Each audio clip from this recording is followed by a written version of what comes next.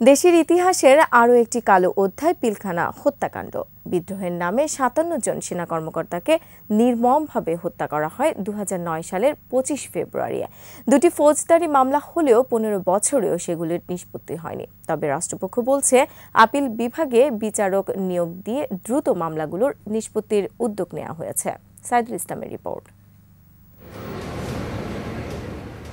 সালের পঁচিশ ফেব্রুয়ারি পিলখানার দরবার হলে চলছে বিডিআর কর্মকর্তাদের বিশেষ সভা। মুহূর্তেই পাল্টে যায় সবকিছু।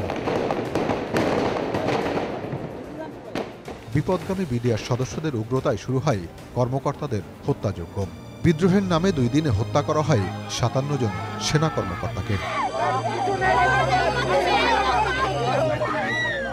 নৃশংস ঘটনার পর সাড়ে আটশো বিডিআর সদস্যের নামে দুটি মামলা হয়।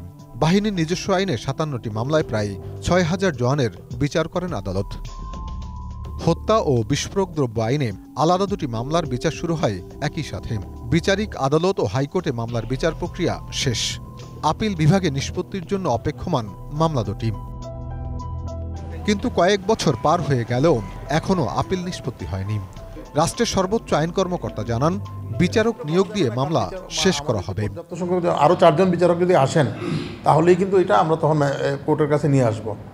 এবং এটা যেহেতু শুনেন আমরা শুধু না তারাও তো চাচ্ছে কারণ এই মামলাটা শেষ করতে হবে দ্রুত। কারণ অনেকগুলো মানুষ তো এখানে জড়িত তারাও শুনানি করতে আমরাও শুনানি করতে চাচ্ছি।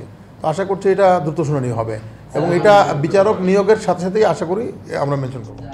একশো উনচল্লিশ জনের ফাঁসি বহলের পাশাপাশি যাদের সাজা কম হয়েছে তাদের ব্যাপারেও রাষ্ট্রপক্ষ শক্ত অবস্থানে বলে জানান তিনি। যাদেরকে কম মেয়াদি শাস্তি দেওয়া হয়েছে আমরা যাদেরকে অপর্যাপ্ত মনে করছি আমরা আশা করি যে সেটা শুনানি অন্তে আমরা হয়তো ওনাদের হাইকোর্টের আদেশটা পরিবর্তিত হয় ওদের পর্যাপ্ত সাজা যেটা আছে আইনে সেটা ওদেরকে দেওয়া যাবে। বিস্ফোরক আইনে করা মামলাটি নিম্ন আদালতে এখনও চলছে।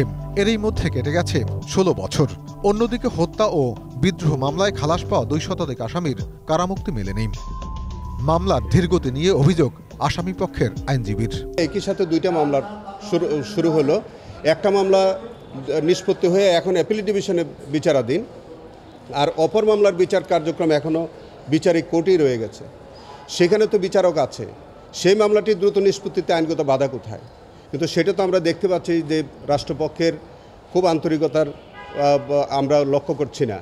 আপিল শুনানির জন্য বিশেষ বেঞ্চ গঠন করে দ্রুত নিষ্পত্তি দাবিও জানিয়েছেন আসামি পক্ষের আইনজীবী। যারা এখন বিনা বিচারে আমরা বলছি যে তাদের এখন কোনো সাজা নাই তারা বিনা বিচারে অহেতুক জেল জেল খাটতেছে এই লোকগুলো তারা মুক্তি পেতে পারত।